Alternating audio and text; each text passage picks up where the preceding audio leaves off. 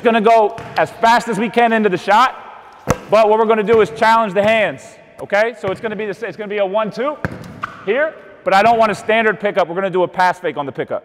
Okay, so this is gonna force our hands to get the ball on the ball even earlier. So I push off, pass fake, and then back to my one position before that second foot hits.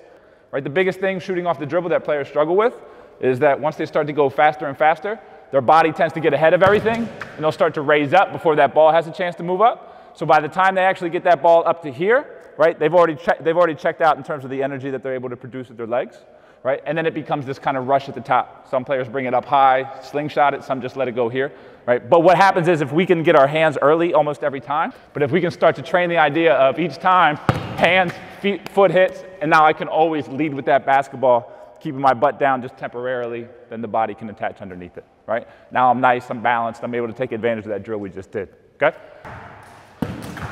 Good job, good job.